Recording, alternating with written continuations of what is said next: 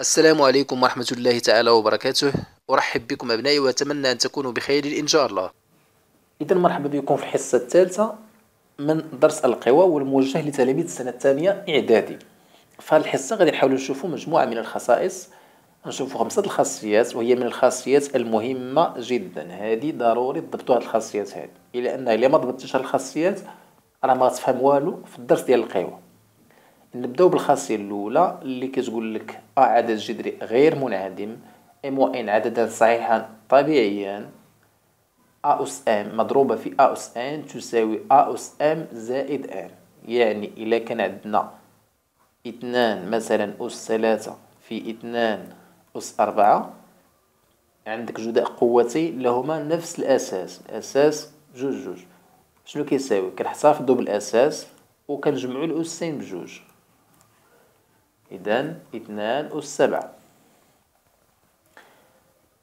المثال الموالي عندنا ثلاثة في خمسة أس اثنان مضروبة في ثلاثة في ثلاثة على خمسة أس سبعة إذا الأس عندنا مختلف وعندنا نفس الأساس.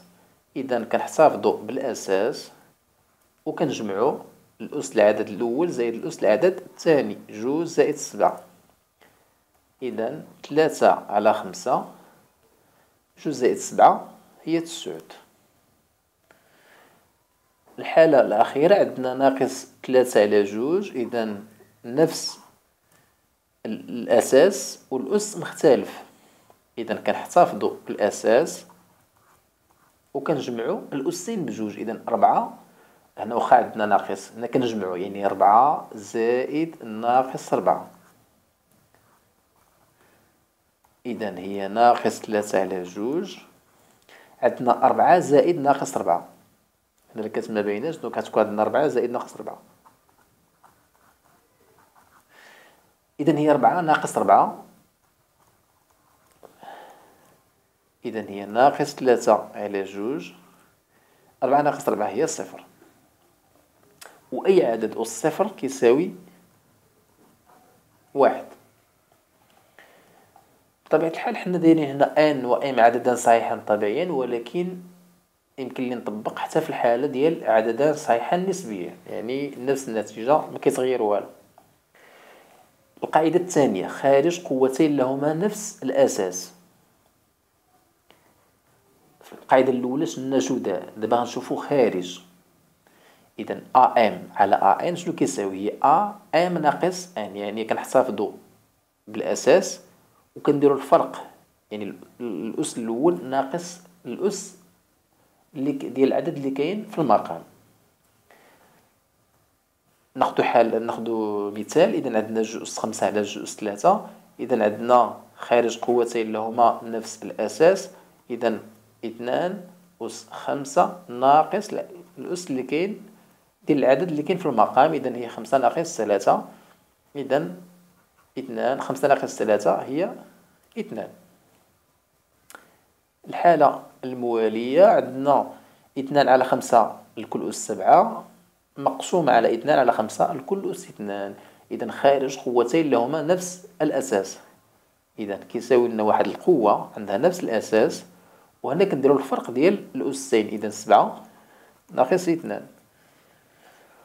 سبعة ناقص اثنان هي خمسة إذا اثنان على خمسة الكل أس خمسة. القاعدة الموالية جداء قوتين لهما نفس الأس. دابا نفس الأس الأساس مختلف.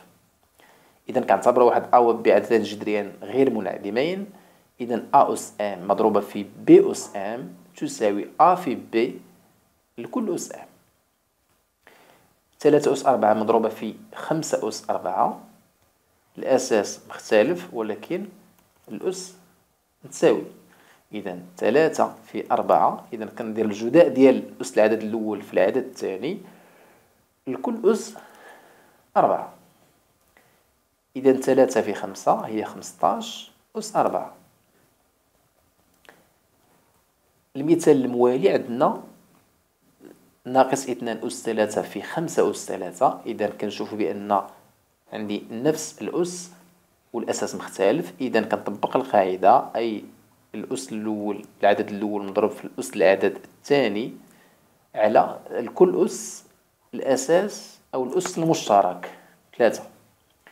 إذا ناقص اثنان في خمسة هي ناقص عشرة لكل أس ثلاثة. الحالة الموالية عندنا ناقص ثلاثة على خمسة لكل أس أربعة. مضروبة في خمسة على اثنان لكل أس أربعة. يعني نفس الأس.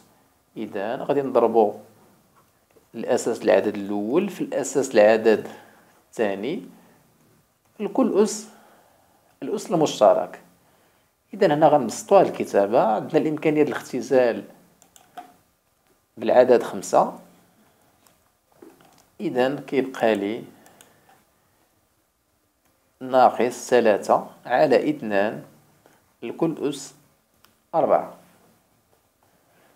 القاعدة الموالية عندنا خارج قوتين اللي هما نفس الأس. إذا شلنا الجداء قوتين اللي هما نفس الأس؟ دابا خارج.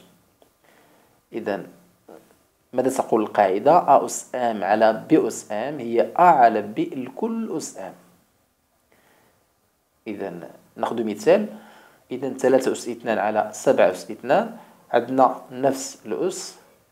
إذا كيساوي ثلاثة على سبعة. يعني الخارج ديال الأساس العدد الأول على الأساس العدد الثاني لكل أس الأس المشترك اللي هو إثنان. نشوفوا المثال الموالي. إذا عندنا خارج عددين لهما نفس الأس. إذا كنطبق القاعدة كيرجع لنا ناقص إثنان على ثلاثة على إثنان على خمسة. هادشي كامل أس العدد خمسة. أي الأس المشترك بطبيعة الحال هاد الكتابة غادي نبسطوها شي شوية. هنا كتذكروا معايا واحد القاعدة سبق لكم بسطوها هي a على b على c على d هذه تساوي a على b مضروبة في مقلوب المقام يعني المقلوب هذا العدد اللي هنا اللي هو d على على c إذا هي اللي غنطبقو في هاد باش نبسطو الكتابة ديالنا. إذا عندنا كنخليو الأقواس إذا ناقص إثنان على ثلاثة المقام عندنا هو إثنان على خمسة.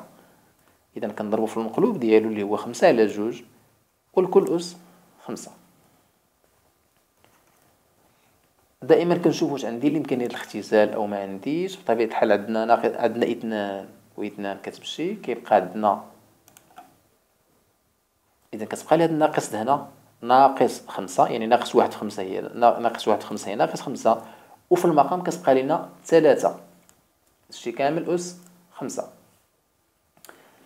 آخر حالة عندنا ناقص خمسة على سبعة على خمسة على سبعة بطبيعة الحال إذا عندنا نفس الأس إذا كنطبق عليه القاعدة إذا هو ناقص خمسة على سبعة على خمسة على سبعة هادشي كامل أس اثنان غنبسطو كما درت في العدد الأول. إذا غادي نضربو البسط في المقلوب ديال المقام. إذا ناقص خمسة على سبعة في المقلوب ديال المقام اللي هو سبعة على خمسة الكل أس اثنان إذا انتبهوا معنا مزيان. هنا عندنا الإمكانية ديال الاختزال.